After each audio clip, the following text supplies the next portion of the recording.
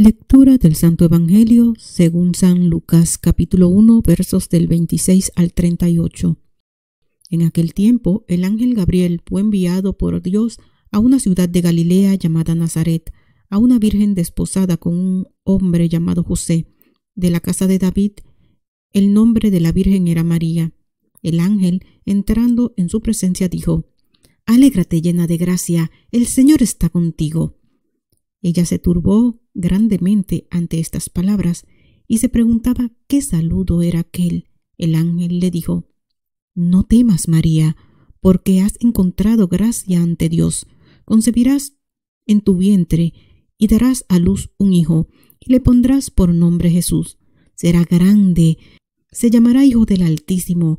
El Señor Dios le dará el trono de David, su padre, reinará sobre la casa de Jacob para siempre, y su reino no tendrá fin. Y María dijo al ángel, ¿Cómo será eso si no conozco varón? El ángel le contestó, El Espíritu Santo vendrá sobre ti, y la fuerza del Altísimo te cubrirá con su sombra. Por eso, el santo que va a nacer será llamado Hijo de Dios. También tu parienta Isabel ha concebido un hijo en su vejez, y ya está de seis meses la que llamaban estéril, porque para Dios nada hay imposible. María contestó, He aquí la esclava del Señor, hágase en mí según su palabra.